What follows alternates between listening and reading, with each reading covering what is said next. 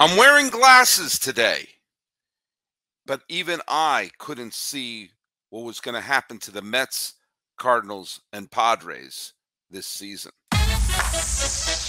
You are Locked On MLB, your daily MLB podcast, part of the Locked On Podcast Network, your team every day.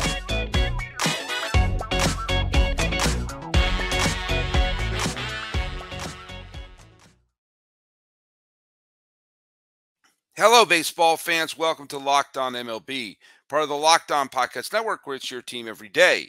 This is the daily podcast. We talk about all of Major League Baseball. I am your glasses wearing host, Paul Francis Sullivan, but please, by all means, call me Sully. I'm an Emmy nominated television producer who has been a baseball podcaster for well over a decade. This is my fifth full season here at the Locked On Podcast Network. Uh, follow us at Locked On MLB Pods on Twitter and Instagram. You can follow me. I'm your pal Sully. I'm at Sully Baseball on Twitter, Sully Baseball Podcast on Instagram. Be sure to subscribe to us on the YouTubes. And this episode is sponsored by BetterHelp.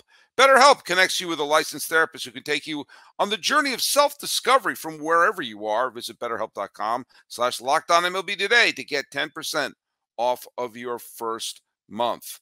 Also, Bird Dogs is a sponsor today. Go to birddogs.com slash locked on MLB. Enter promo code locked on MLB. They'll throw in a free custom Bird Dogs Yeti style tumbler with every order. I would like to consider myself a Yeti style tumbler, and I'm here for every order. Hey, um, a lot of stuff to discuss. You can tell we're going to be talking a little bit about the Mets, Cardinals, and Padres as they face their next 100 games and it's gut check time for them. Yes, I know 100 games is more than half the season, but we're going to talk a little bit about what they have to do to get themselves off the mat.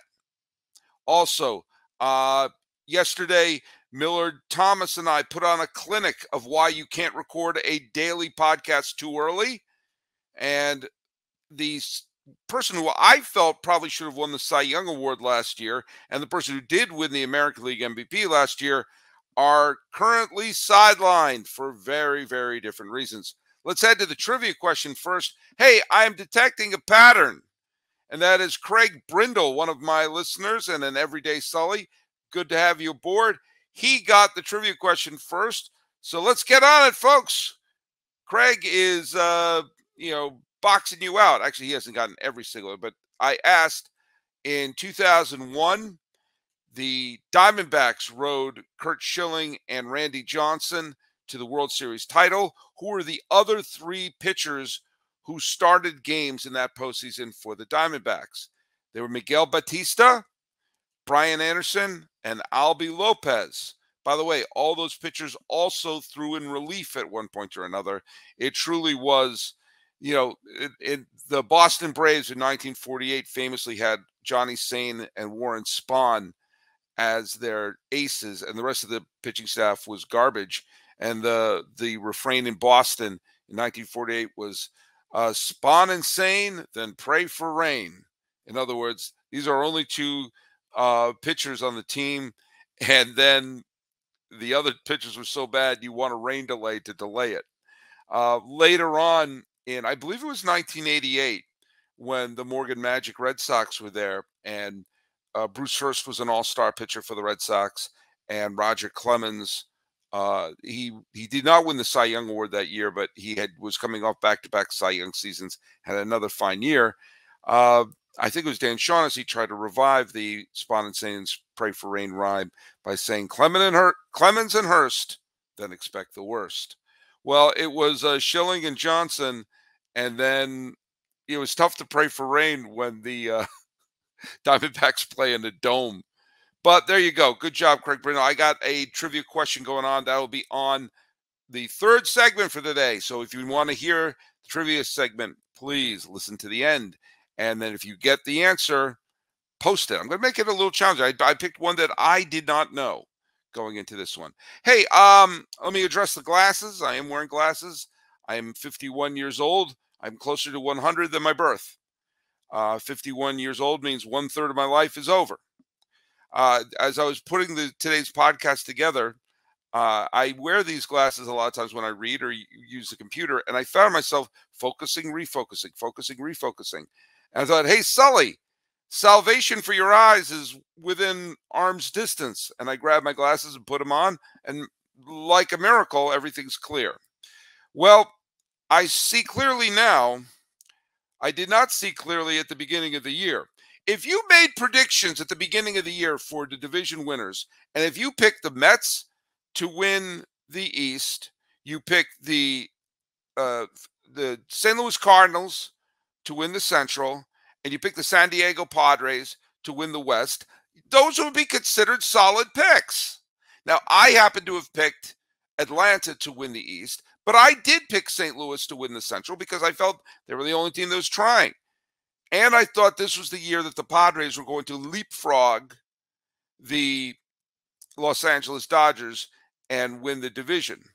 Uh, little did I know that this would be the year that the Diamondbacks would show up as they they doubled up the Nationals yesterday 10 to 5 and that was significant because the Dodgers lost a walk-off game to Jeff Carr's team, the Cincinnati Reds, and it was a strange game. I was watching the game and Dave Roberts let poor Caleb Ferguson pitch out there.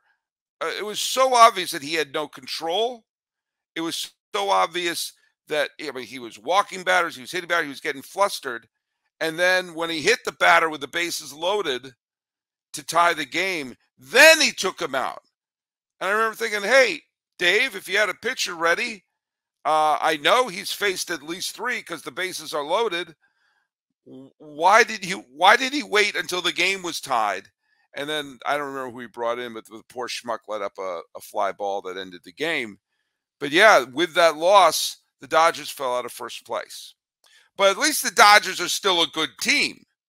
The we are right now, it is a I'm recording this on the seventh day of June. I was going to uh, record this uh, last night, but I just I was too tired. I actually started recording and I was like, I, I, I my voice was gone. I had to go to bed. So I'm recording this in the morning of the seventh. If you had told me on the morning of the seventh day of June that the worst team in the National League, and I'm using wins and losses as the metric because that's the metric that everyone uses for entrance into the playoffs. The worst record in the National League belongs to the St. Louis Cardinals, the one team that I felt was actually trying in this division is in the basement, not just of the Central, but in the whole National League. Now, the Cardinals should be grateful that the Oakland A's exist because there's no way they're going to hit the bottom of that giant trench. But still, when they went into this year looking like the only team that was actually putting a contender on the field, I didn't, you know, I, eh, there was a possibility, of course, going to this year that the Cardinals were going to have a regression from last year's divisional championship. But we are now 62 games in the season. There's 100 games left, and it's easy to sort of calculate what these teams have to do when you've got 100 games left. Nice round number. 62 games into the year, the Cardinals are 25 and 37. I'm looking over here because I got a spreadsheet set up here from as my notes. Cardinals with a rotation. If you look at it, there's some good pitchers in that rotation. They're two MVP candidates. Lots of great young players coming up through there. The worst team in the National League at this moment. They have 100 games left to play. Oh, but there's more. The Padres, the team that I picked to go to the World Series, are 10 games under 500. And the New York Mets, with their uh, fall from grace that they had last night, are now a sub 500 team with the largest payroll in the history of baseball. And both the Mets and the Padres have all star managers who have won multiple managers of the year. And we're sitting here with those three teams. The Padres have 100 games left. The Cardinals have 100 games left. The Mets have 101 games left. Okay. Keeping that in mind, yes, teams can turn around. We've seen that in the last bunch of years. The Nationals turned around, the Braves turned around, the Phillies turned around. Three, the last three full 162 game seasons had National League teams that were not good at this point who went on to go to the World Series. Two of them won it. Well, if the Mets, Cardinals, or Padres want to join the Nationals, Braves, and Phillies on that route, they got to get their act together now. There's a lot of time 100 games. Now, let's just say to at least punch your dance card to go to the postseason this year.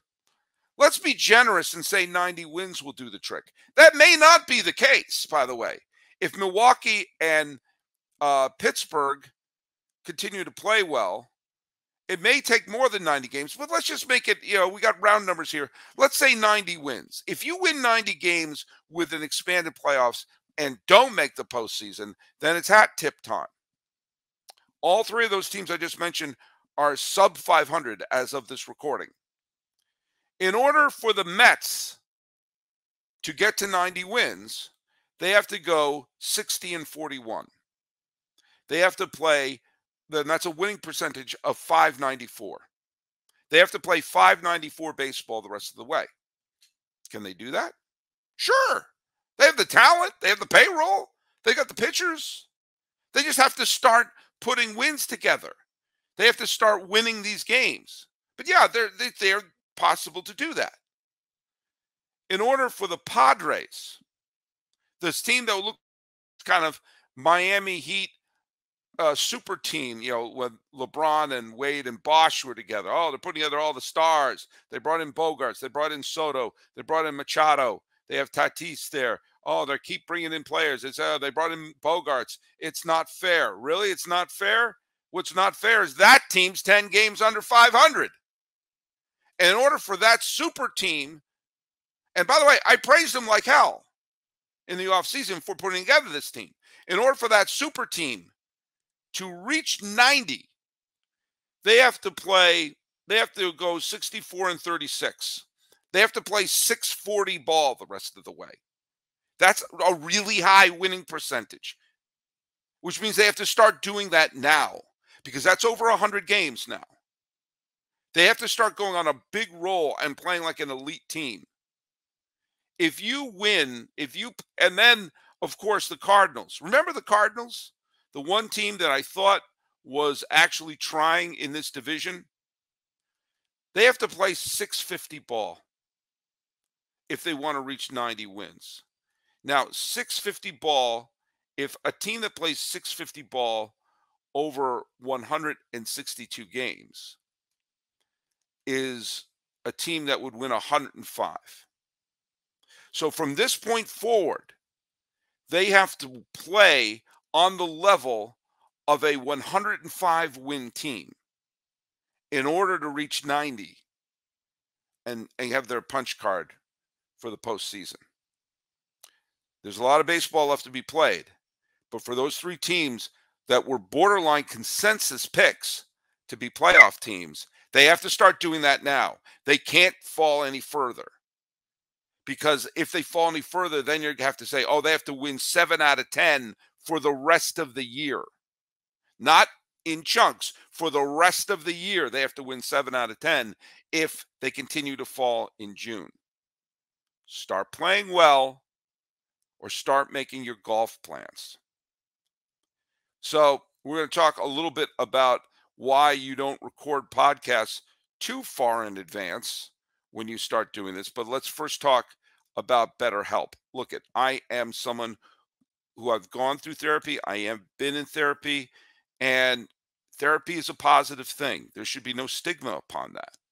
It's if you're sick in other parts of your life, you go to the doctor to treat that. If you need help mentally, you got to get your mental help. And it's so easy to get caught up in what other people need in your life. As I mentioned before, I'm a special education teacher and I give and give and give. That's part of the deal when you do this as a living.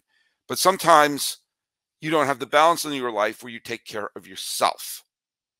Now, this is where BetterHelp comes into play.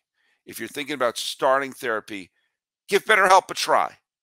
It's entirely online. It's designed for your convenience. It's flexible and you can make it suitable for your schedule. All you got to do is fill out a brief questionnaire to get matched with a licensed therapist. And if you need to switch therapists, you can do that anytime and there's no penalty, there's no additional charge. You need to find more balance in your life and you can do that with BetterHelp. Visit betterhelp.com slash locked on MLB today and get 10% off your first month. That's betterhelp, H-E-L-P dot com slash locked on MLB. Sometimes when you know you have a lot of things going on in your life, um, you sometimes try to record podcast when you're doing a daily show. Sometimes you try to record a couple of things in advance. And I had dropped a couple of episodes recently. And I think this is my fourth episode already this week, and it's only Tuesday. But Millard and I recorded, Millard Thompson and I recorded. And then the Pirates uh, had their great game, and I had a chance to do the show with Ethan Smith. And that also dropped as the Locked On Pirates episode. And I said, hey, why don't I drop that episode, the Pirates episode with Ethan, and the episode that I had recorded beforehand with Millard, I'll hold off on that one. I didn't want two dropping at the same time. And I said, Do you know what I'm going to do? I'm going to drop the Millard episode in the afternoon. Why am I telling you the behind the scenes stuff of the drops of these episodes? Because I thought I patted myself on the back. I said, Hey, look at that. I'm ahead of the game. Sully's ahead of the game. And I and I put it so it would drop in the afternoon. I went off, did the things I need to do because I have a life as well. The minute the episode that Millard and I recorded, where we talked about Jacob DeGrom and the fact that he's on the 60 day DL, but that doesn't mean his season's over. And if he's at the end of the year and he comes off the 60 day DL and the Rangers continue to be a playoff team, that might be a secret weapon that suddenly you have a recovered DeGrom to be used as a weapon in the postseason. What happened?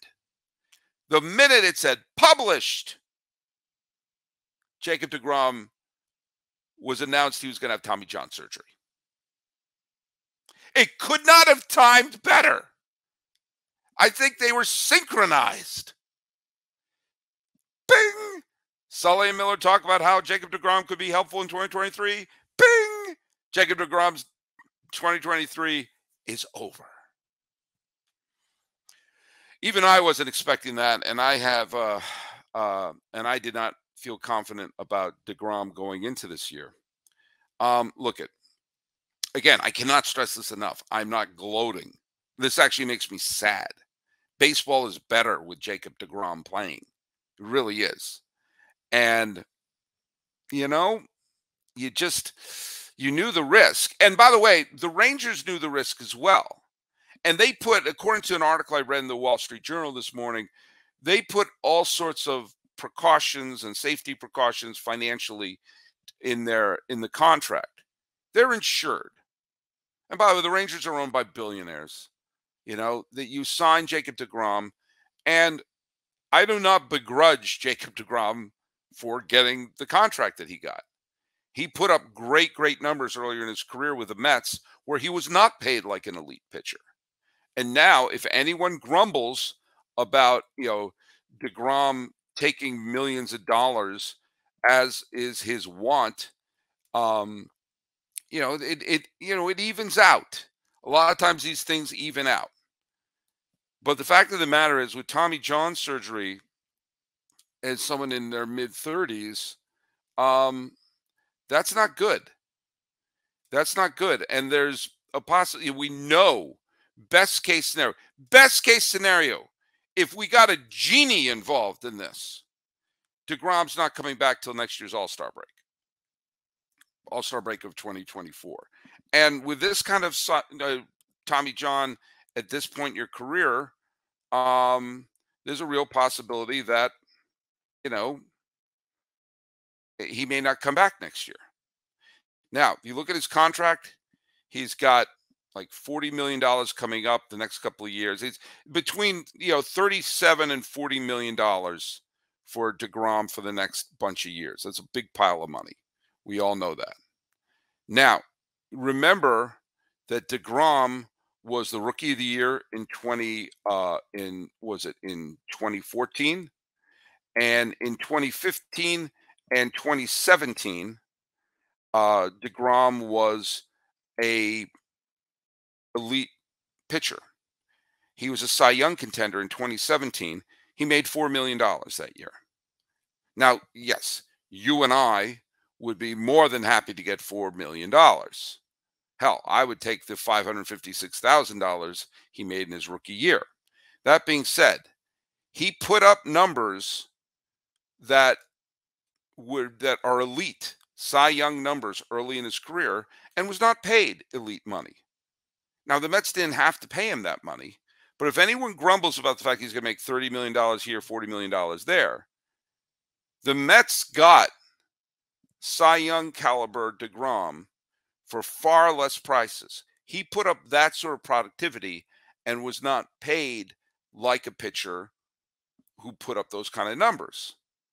So if he has years where he's hurt and being paid like an elite pitcher, it's called the universe aligning. It's making up for lost time. I do not begrudge Jacob DeGrom for collecting the money that he earned. And maybe, just maybe, his presence on the team may have been part of the jolt that got this Rangers team that I had very little trust in going into this year to suddenly become a playoff contender. I think a lot of that had to do with Bochy. And I don't 100% remember the chronology. Did they sign Bochy before DeGrom or DeGrom before Bochy? But either way, there's a chicken and the egg going on there. And the culture has changed pretty much in Texas. And certainly Eovaldi has been holding up his end of the bargain, as has Gray. Wouldn't it be wild if DeGrom gets his ring with the Rangers while sitting on the disabled list? There'd be almost something poetic about that after all the years in New York, where you know, some of those years he won the Cy Young Award with absolutely zero run support. I digress. So, Tommy John for DeGrom. Lesson learned for your pal Sully. Don't drop these episodes too soon. Um, uh, last year, Alek Manoah. I mean, this is another eh, weird thing. Then this is, I guess, there is sort of cautionary tales about wanting to sign ace pitchers.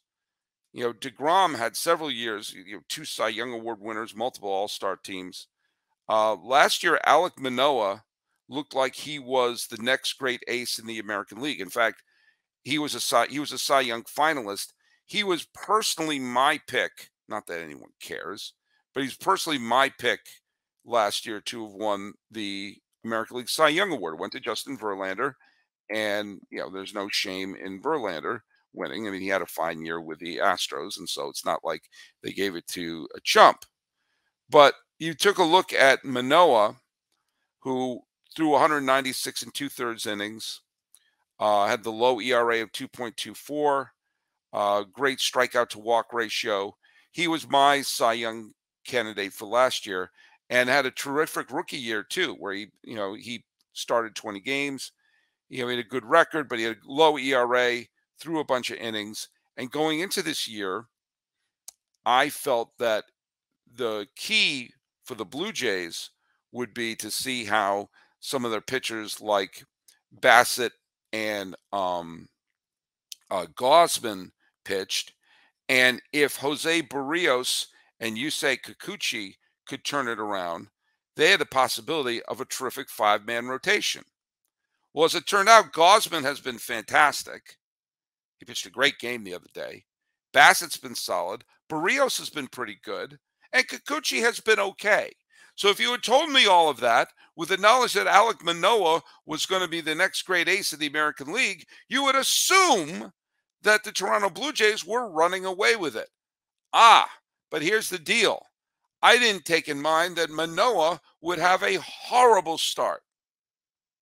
I don't like to look at win loss records. I mean, Jacob DeGrom is the poster boy of, you know, a what's the word? A deceptive win loss record. But a one and seven record catches your eye, especially on a good team. the 6.36 earned run average and the fact that he has only 42 strikeouts, um, uh, 42, uh, 48 strikeouts in his 58 innings. His ERA plus is 65. That's terrible. And Manoah's last bunch of innings, he didn't get out of the first the other day. And that's scary for Toronto. Now, as it turns out, Toronto is going to actually send him, you know, he has options left. They're sending him back to extended spring training. They're sending him back to uh, where are they in Dunedin? I can't remember where in Florida, but they're they're sending him back there as if to say, let's just let's just pretend this didn't happen. Let you know, and I've I've done that with my students sometimes. If something bad has happened, said walk out the door and come back in. Let's just pretend that didn't happen. And so he's basically going back to spring training, and they have to put someone else in the rotation. But I mean, anyone they put in can put up the numbers he was putting up at this point. There have been instances where a player kind of looks lost at one point and they get sent back down or they have to, you know, get all caught up again and they turn it around. John that happened with John Smoltz with the Braves, and he went on to the Hall of Fame. Roy Halladay was sent back down to the minor leagues at one point, got his pitches together, and then he also went to the Hall of Fame. It's possible. Absolutely, it's possible. It's just startling when that happens. It's absolutely startling. And quite frankly, if Manoah can get his heads to, you know, it can just, I don't want to say get his head together. It makes it sound like I'm, I'm uh, degrading someone mentally. But there's some block because he's clearly a talented pitcher. And he just, maybe he's just in the wrong groove. And if they can turn it around for him, that would be a gigantic thing for the Blue Jays. It would be like trading a bad pitcher for good Alek Manoah. Maybe he just needs to feel more comfortable on the mound. Maybe he needs to be more comfortable when he's no longer on the field. If he needs to be more comfortable, can I recommend that he start wearing bird dogs? Let me tell you something. I wear shorts. I wear shorts now. But sometimes khaki shorts, I don't know, they don't look great. Sometimes they don't feel great. And you want to wear shorts that feel like, you know, something comfortable like you'd wear at the gym. But bird dogs, they have these stretch khaki shorts that are designed to fit slimmer through the thigh and the leg and give you a great sculpted look. They do the same thing as Lululemon, but way, way better fitting. Guess what? They fit better than regular shorts and they're not made of that stiff, restricted cotton. Come on, Alek Manoah, get your bird dogs. They invented a cloud knit fabric. Do you know what that means? I don't know, but it looks just like khaki and it stretches so you can get a slimmer fit without having to sacrifice movement. And has anti stink sweat fabric that guess what? I need, we all need, I bet Alek Manoah needs. It helps you keep cool and dry all day long. Now look at you got to do this, Alek Manoah. You got to wear these bird dogs. You got to feel comfortable. You look good. And guess what? You can go to birddog.com slash locked on MLB and enter promo code locked on MLB for a free Yeti style tumbler with your order. That's birddogs.com slash locked on MLB for a free Yeti style tumbler. Alek Manoah, do it. You won't want to take your bird dogs off. We promise you. Uh, Aaron Judge is on the DL. Or yeah, I'm, old habits die hard. Some people have trouble remembering Cleveland Guardians. I have a hard time uh, remembering it's no longer disabled list. And as a special ed teacher, you think I would make a note of that. The injured list. Um, I don't did he do it while crashing against that wall in the Dodger Stadium? I don't know. But once again, the argument for Aaron Judge being the American League MVP is very strong because when Judge was out of the lineup earlier this year, the Yankee offense was zero. You put Judge back, abundant. You take Judge out again. They were no hit by Lucas Giolito for six innings. So, and they they weren't no hit at by the end, but still, it was uh, was not pretty if you were a Yankee fan yesterday's game. So they lost, but we got a slate of games going on today, and I won't drop an episode too fast because you know what? News comes at you really fast right now. Hey, let's do our trivia question for today. And I went around trying to find one and trying to see if I could find one that maybe, just maybe, Craig Brindle wouldn't know right off the top of his head. Okay. And this I got from the uh, sabr.org website. Who is the only player in Major League history to hit a walk-off inside the park grand slam? A walk-off inside the park grand slam was hit by this player. Who was it? So send in your answers and I'll read out the first one either here uh, on the YouTube comments or you can send it to Sully Baseball on Twitter, uh, Sully Baseball Podcast on Instagram, or you can send it to Locked On MLB Pods. Make sure to follow us. Make sure to listen, and subscribe. We got a bunch of cool shows coming up, including Jason Burke of Locked On A's is going to be on. We're going to be discussing the, let's be frank and call it the fiasco of the A's, Vegas, and all the other stuff that's happening there. Talking about DeGrom, Manoah, and three teams that have to start putting on their aft thrusters now if they want to reach that 90 win mark and play in October. This has been Locked On MLB for the seventh day of June 2023. I'm the man behind the glasses. My name is Paul Francis Sullivan. Please call me what? Oh, you can call me Sully.